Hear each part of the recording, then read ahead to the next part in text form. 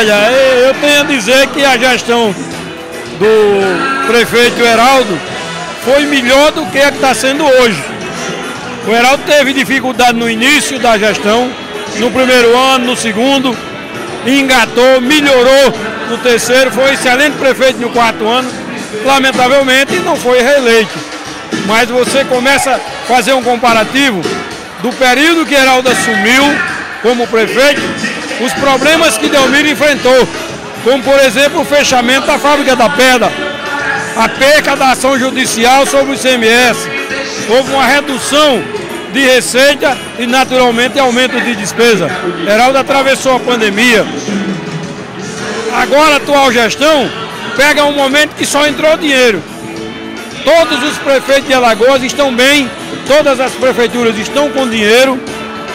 O governo do estado é quem tem trabalhado em Delmiro, é quem tem feito as coisas em Delmiro Gouveia, não só em Delmiro, mas também em outros municípios.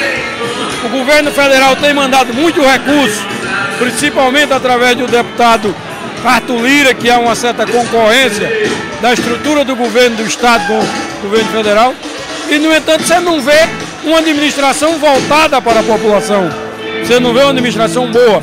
Então, eu acho que Heraldo já deixou saudade do seu tempo. Heraldo é um grande homem, é um homem humanista, uma personalidade boa. E tenho certeza que é um grande nome que pode voltar a ser prefeito de Delmiro. Então o deputado estadual crava o Paderaldo disputando a eleição em 2024, talvez com a revanche contra Ziane Costa. Não tenho dúvida, Heraldo é um grande nome. E a população vai reconhecer o bom administrador no momento difícil. É diferente do administrador no momento de fatura, no momento que tem tudo, todo mundo administra. E mesmo assim a atual gestão de Delmiro não está fazendo uma boa gestão. Tenho certeza que Heraldo volta nos braços do povo. Paderaldo, Renato Torres, Renato Torres, Paderaldo.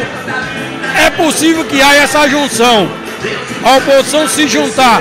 Isso já se trabalha, essa possibilidade, e eu sou um dos que dou força para que essa junção aconteça. Fica mais fácil, fica bem mais tranquilo de tirar a gestão que está aí no momento.